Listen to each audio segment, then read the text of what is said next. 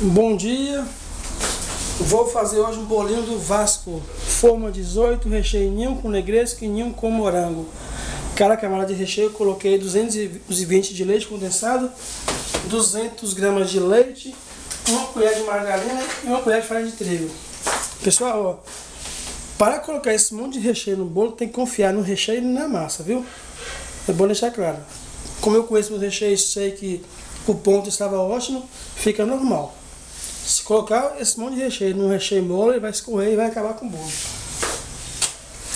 O forno 18 serve 15 pessoas, viu? Até um pouquinho mais. Vou usar o bico M e vou usar o bico 115 da Celebrate, bico folha, certo? Começar aqui, esse bolo é para 10 horas, já 9 e meia. E eu tô atrasado. Eu tô atrasado porque ela pediu bolo ontem à noite e eu tive que ir na rua comprar um morango ainda, fazer o desenho, então não deu para confeitar, rechear o bolo antes de eu sair, então tá do morango, tive que comprar ainda. Mas vai dar certo? Esse bolo eu falo que serve 15 pessoas, mas serve mais, viu? Aqui eu, aqui eu garanto umas 20 pessoas, cortando direitinho. Eu não gosto de vender bolo assim, é pouquinho. Pouquinho assim, é falar que dá uma quantidade, dá, dá aquela quantidade certinha. Eu prefiro que o cliente come e sinta satisfeito. Eu só vou alisar o bolo aqui. Ele vai ser preto e branco. Do Vasco. Vasco, Vasco.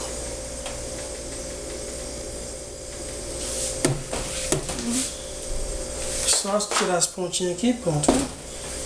Vou começar aqui com o bico folha.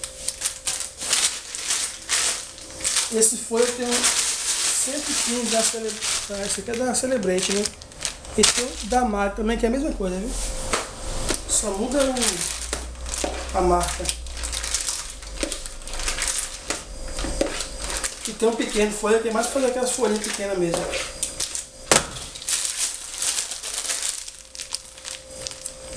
Vou começar, viu? Cuidado com esse bico, viu? Sempre que fizer tem que fazer certinho para cima, não pode fazer torto não.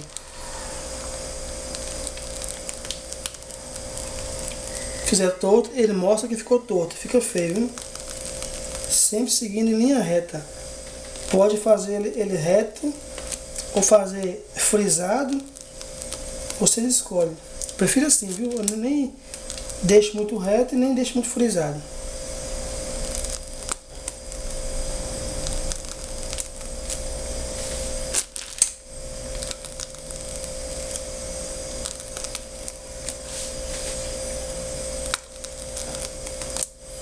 Mesmo atrasado, tem que fazer paciência, viu? Não pode correr muito não.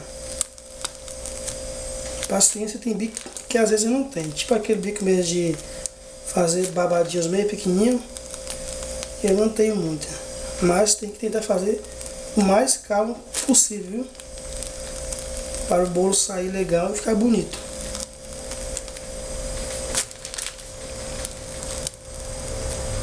Tá vendo esse espaço aqui? Ficou um espaço que não cabe os dois iguais. Vou ter que diminuir um pouquinho o tamanho, viu?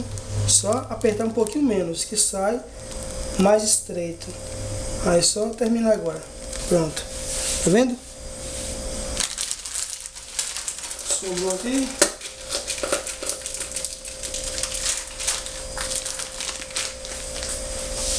Aí aqui eu vou tirar essa, esse excesso que ficou aqui, ó. Só para a espada, só na pontinha, viu? Pra você tirar a banda do bolão.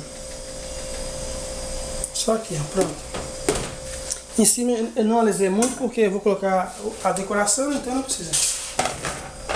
Deixa eu tirar um pouquinho aqui. Vou fazer o preto. Aqui eu bati 550 ml de. Preto eu faço com o azul e com o, preto, viu? Como o meu azul acabou, vou colocar um pouquinho de cacau em pó, que eu sempre coloco. Um pouco do leite condensado, para não amargar.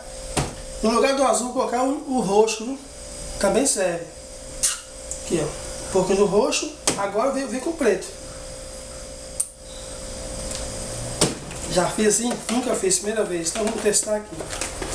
Se não der certo, tô ferrado. Vai dar certo sim, viu?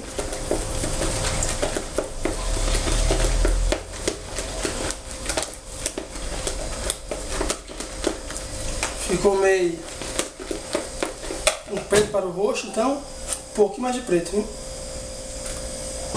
Lembrando que eu não gosto daquele preto, muito preto mesmo, é igual vermelho. Eu não gosto daquele vermelho bem vermelho. E o preto é assim, você deixa ele um tom um pouquinho me menos muito preto, e com o tempo vai pegar mais a cor, viu? Não tá tão preto não, mas vou fazer isso mesmo, porque eu não gosto de muito preto. E quanto mais corte você coloca no chantilly, mais fica o gosto. Viu?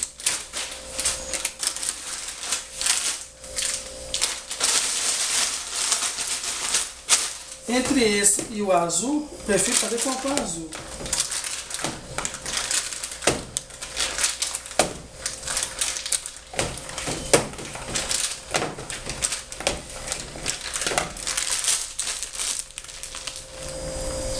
Ficou bem preto, mas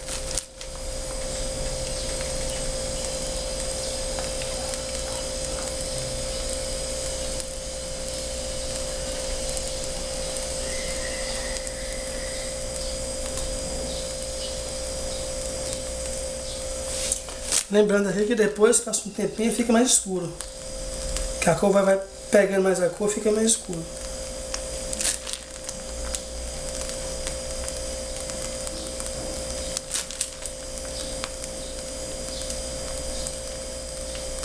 Pronto, já foi. Só tirar aqui para não atrapalhar. Pegar aqui o bico. Hum, hum.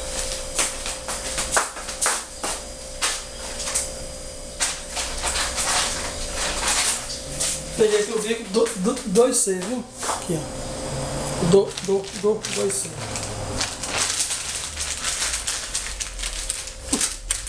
Parece um pato. Do, do, do, do, do.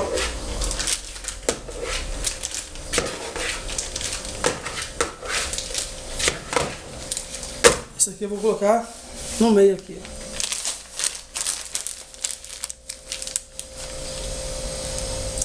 Quem estiver começando a trabalhar, pessoal, não, não compre aqueles pacotinhos de bico que vem, tipo assim, uns 10 bicos por um preço só uns bicos que não tem marca, porque eles, eles não são bons, viu? Eles têm os dentinhos pequenos, não são legais.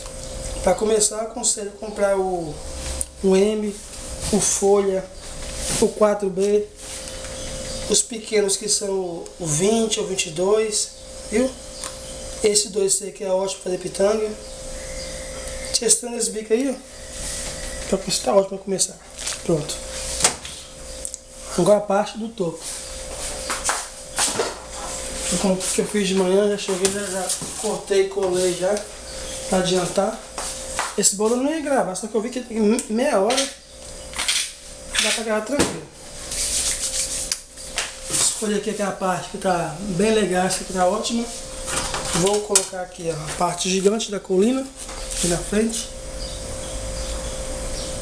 É, né? Gigante, gigante, gigante. Gabriel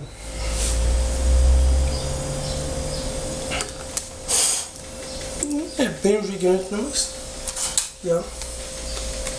Em cima.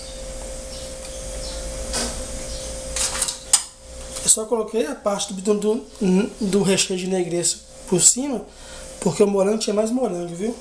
Então é mais seguro ficar embaixo o morango.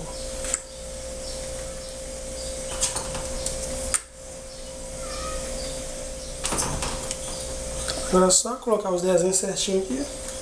E o 13 a idade dele. Vou só virar aqui.